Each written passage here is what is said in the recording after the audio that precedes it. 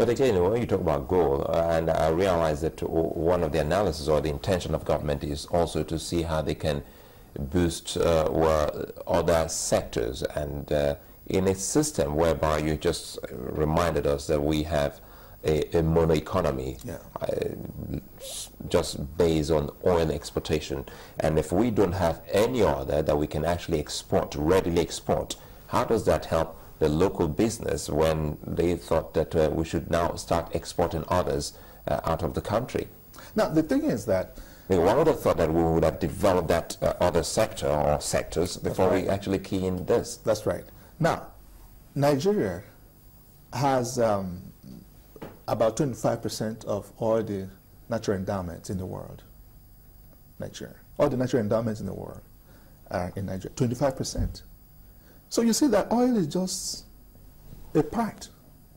But all the effort, because easy to get this and make money and all that. Other sectors are, you know, uh, uh, where Nigeria can make money.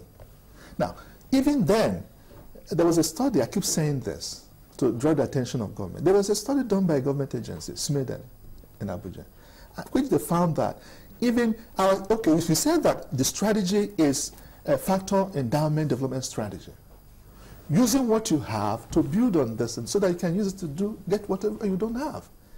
In all the 774 local governments, there are about two natural endowments, I call it products, which could, a cluster of industry could be built in all the local governments. In each local government? In each local government.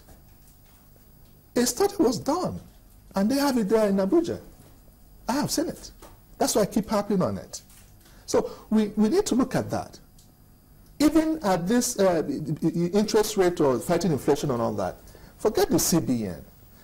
Now, what they could also do, what they could have done is, once the local productive capacity is improved or increased, you find that even though inflation is going up, it will absorb, the productive capacity is, you know, we are able to absorb whatever effect it has.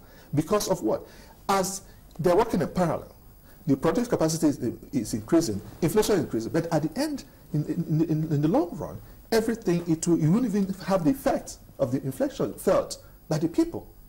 Because employment will be created, uh, people, most of the uh, items will be produced here. It's just so a, a policy, something that will, to, for them to have the, the will, the, the will, they look at the people because the policies are not, they look, look at the impact on the people. You keep talking about the people, you're also a communication expert. Yeah. let's look at it if we had uh, maybe sufficient uh, sensitization before this particular move by the government. Uh, because one would have thought that over time, there would have been some gradual, you know, talking, sensitization to the people before this drops finally on them. Uh, did we get that? No, no, no, no. And there's a danger when you say, look, you want to develop the naira, the naira.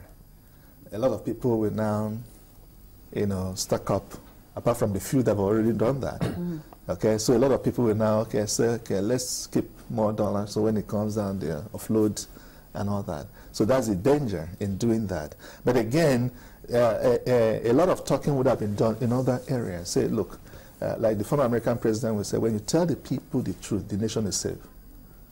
So, to tell us exactly what is going on in the economy is important. Okay? That the dwindling oil price, even before the budget, they were talking about 75 dollars. And I said, look, why don't you have this benchmark of 50? $50. $50. So that even though it falls and all that, the excess, you put it out there well, for you, savings. You know the politics. I'm sure you're also not unaware of the politics around the excess crude account and, mm -hmm. you mm-hmm. know, uh, also between the National Assembly and the executive arm of government, each time the budget is presented, the first thing is looked at yeah. is what's the price, what's the proposed price Yes, but you find that those people yeah. who were kicking against all these uh, savings, national savings, are the ones now benefiting from it. You know, remember some governors took the uh, uh, presidency to, to court. Mm -hmm. They should bring the money, let's share. That this is not the time to, uh, to save money and all that. You know, so do, you agree, yeah. do you also agree with that? And because here we are, we're saying that our economy is not yet where it should be. Uh, we're trying to kickstart the economy. The CBN too is also doing its part. They're also giving loans. I think they recently kickstarted this uh, is it two- two billion naira loan for. Two billion naira. I need correction here. yeah. Or for small and medium businesses. Two hundred billion. Two hundred billion, I think. Yeah, but and the I, we know the Delta State just kickstarted that. uh, You know, and so Yeah, 220 billion. Yeah. it, it would seem that they are aware that you know the economy something is to be done I- about about small businesses as well. I I call that distractions, CBN distractions. 220 billion It's naira distraction. is a distraction. They don't have for the capacity to do all that. You're giving to, to 220 billion to who? And who is going to give it out when there are no venture capital firms? But you've seen how they, they you've seen the vehicle. They, they're going through the state government. State government, who, who, who, do they have the capacity? Can they manage this one? Can, do they understand how businesses think? And that's the challenge I have with them passing money through the conventional banks. The economy cannot grow that way. The economy, okay, look at Israel, for instance. Israel, they have over 240 venture capital firms. That is how you grow the economy. A, a population of 7 million. If you have an idea today to run a business, a business idea today, by tomorrow you're starting that business. You cannot wait and all that. Do you know how many ideas I have? I've been chasing money. I mean, the loans, bank loan, they give me money to finance this thing. So you know, until we pass money through the venture, encourage the establishment of uh, venture capital firms, private equity firms, they are the ones that can, you know, actually, they understand how, how small businesses think. You know, they can the- actually support small business, not conventional banks. So how do you think we can actually help the growth of these venture capital firms? Now, you establish all these banks should not be channeled to conventional banks.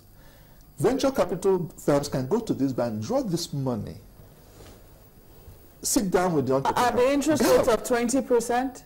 No, no, no. you see, 20%? no, because one is that they also, it's like equity. They have a way of uh, running. It's, it, should not, it should not be. The interest rate, you know, has to come down in the first place. Take, for instance, uh, one rich man uh, gave money to for small business about uh, 70 or 75 billion or something, and he passes it to uh, BOI. At what, at what, that money should have been channeled to venture capital firm, and it's interest free monies from uh, these uh, pension funds could also be given to this. These people can borrow this money at a cheaper rate, long term, and use it to support small businesses. I have seen businesses supported by these venture firms which have also made progress. ABC Transport, for instance, they wanted to expand. And what happened? Uh, uh, Capital Alliance gave them about 300 million uh, uh, to invested and took 30 percent. Within five years, they took ABC to public and exited. The, the transport company is doing well. And, uh, uh, you know, uh, Capital Alliance have also. Muka from the same thing. Actis, assisted. This is how, you, this, if we have, I, I'm not sure we have up to 10 venture capital firms in the, Uh, I'll give you the quote. He said, uh, in his words, I see the Naira being devalued by 20% as time progresses. I have repeatedly said that mopping up the Naira to achieve exchange rate stability is wrong. And he said, we have not learned from what happened to the Ghanaian and Zimbabwean currencies. Yeah, yeah, I agree with him. Now, because in Zimbabwe, remember there was a time that um, uh, inflation was uh, how many million percent and all that. What did they do? They started using dollar. If you want to buy anything in dollar, you buy in dollar.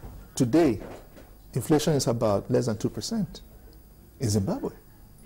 And that was why people didn't understand when he got to, um, when Nelson Mandela uh, at the funeral, white people stood up to clap for him. They didn't understand that. Because that was what he was able to turn around the whole Zimbabwe economy. Now, why should the CBN have monopoly of the foreign exchange? Okay? If you, if you are, for instance, uh, Suleiman, you, you, are- you, you do business and you bring in dollar, you should be allowed to spend your dollar. If the uh, uh, amount uh, uh, the, sharing, when the money comes, dollar comes, and they have to, what the CBN does is to convert this money, maybe print naira equivalent of the dollar, and then fix the, the rate. Why not allow market forces? Now, what that means is that if, for instance, you give dollar to every state. The state will go to any of the banks with your dollar. I have so much dollar. Do you have naira equivalent? The bank will say, okay, if I must buy this, this is how much I can afford to pay. That way, you are allowing market, you don't need to print another naira to support this. But they have monopoly. That I can't even, you know, change my dollar and uh, the amount uh, uh, that I want to. I cannot get value unless what the CBN fixes. So if you have to do that, you, you to support the, the, the, the, the Naira, you, you need to do other things. You need to allow the, you know, remove monopoly from the, the foreign exchange so that you'll be able to, uh, you know, the, the market forces will be able to determine how much. By the time you, you have, some banks may not have the kind of uh, dollar and Naira equivalent of the dollar you have they, when they share the money to all the uh, different tiers of government. Well, that's the stance that uh, Dr. Roy has always taken. But, you know, taking a look at the factors that we've seen so far, the Naira is dwindling, um, oil prices are also dwindling. The, well, the Naira had to dwindle because the CBN, you know, made that particular move. They are trying to see what they can do to salvage the economy. A lot of people already predicted that money, the interest rate was going to be in increased when this uh, yes. committee sat, you know, just on Monday. Yes. What is your projection? What are you seeing in 2015? How do you think we will get out of this? Is it looking good? Well, in the short term, the 2015 is um, we should just prepare for, you know, for a hard time you know, but it won't last for long. Why are you saying it very carefully? I mean, if it's going to be hard. I don't want. I don't want to scare. It's going to be hard. Yeah. yeah, you know, in, uh, there's something we call the uh, normative and positive economics, and uh, uh, you know, when you're talking to the public, you have to be a bit more. Uh, uh, positive, and when we are together, is that what, what do you is, is, that, is that